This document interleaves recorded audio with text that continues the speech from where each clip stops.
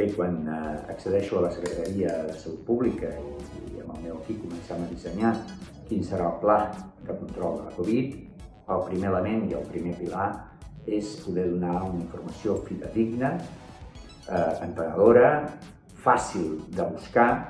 i accessible per tota la ciutadania per poder prendre les millors decisions i aquestes decisions siguin compartides. Uh, des d'aquest punt de vista no estic dient en cap moment, molt menys, que no es donés abans tota la informació, però sí que estava dispersa en diferents espais, de diferents formats, i per tant era el primer poder-ho trobar tot en una mateixa pàgina, en una mateixa web, repeteixo, insisteixo de manera entrenadora, bàsicament per poder compartir les decisions amb tota la ciutadania. La transparència i el bon govern i el govern govern en general són polítiques públiques claus per generar confiança i aconseguir la millora de la qualitat democràtica del país, però sobretot són claus per millorar les polítiques públiques. I això ho sabeu especialment tots els que treballeu en l'àmbit de salut.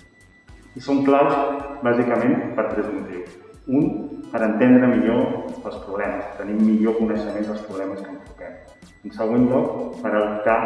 millors decisions públiques, per tenir tot el coneixement necessari per adoptar millors decisions públiques. I en tercer lloc, perquè aquestes decisions públiques es puguin aplicar millor i siguin més enteses per la ciutadania. Durant la crisi del Covid hem tingut l'oportunitat de comprovar com l'esforç que a terme pel Departament de Salut de publicar les dades,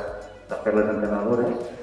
ha servit perquè cada vegada més les decisions es puguin explicar millor, es puguin comprendre millor i els resultats de les mesures adoptades siguin millors per la ciutadania. Per tant, aquest element, jo haig de fer eh, aquest element important, que és la informació, informació accessible, fàcil, haig de donar les gràcies a totes les persones que estan darrere, des de les persones que fan possible doncs, tota l'assistència a les persones amb sintomatologia, a les persones que estan ingressades, però també aquella feina fosca moltes vegades de la gent de sistemes d'informació que recopila aquesta informació, la digereix i la presenta al públic de manera, com deia, entenedora i amigable.